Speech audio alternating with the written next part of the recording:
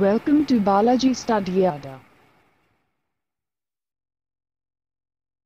नमस्कार दोस्तों बालाजी स्टडी अड्डा में आपका स्वागत है।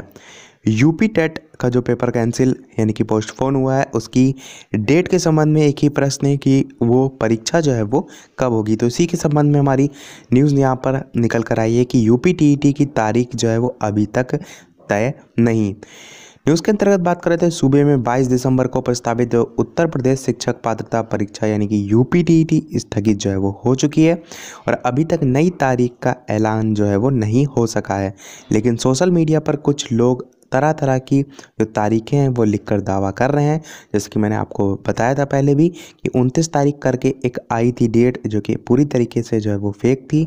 इसी प्रकार 19 जो जनवरी की डेट की बात की जा रही है, वो भी अभी तक पूरी तरह अनुमानता है। किसी प्रकार की कोई भी ऑफिशियल नोटिस जो है वो नहीं आई है। आगे लिखा हुआ है कि फला तारीख को परीक्षा होने जा रही है।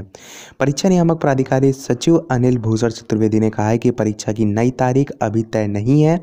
शासन से अनुमति लेकर इसका ऐलान करेंगे और ये कार्य जो है वो 25 दिसंबर के बाद शुरू होने की उम्मीद है। क्लियर तरीके से यहाँ पर आपको इन्फॉर्मेशन मिल रही है कि 25 दिसंबर के बाद शुरू होने की ये उम्मीद है, क्योंकि प्रयागराज में सोमवार को ही इंटरनेट जो है वो सेवा बहाल हुई है और कुछ दिन प्रदेश के हालात का जायजा लिया जाएगा और संभव है कि ये परीक्षा जनवरी माह में ही जो है वो कराई जाएगी। तो यहाँ से आप समझ सकते हैं कि जनवरी माह में कराई जाएगी और दूसरी चीज़ कि 25 दिसंबर के बाद जो है यहाँ पर आप कह सकते हैं किसी प्रकार का फैसला जो है वो लिया जाएगा। क्यों? क्योंकि सोमवार से जो है वहाँ पर इंटरनेट जो है वो सेवा चलने लगी है।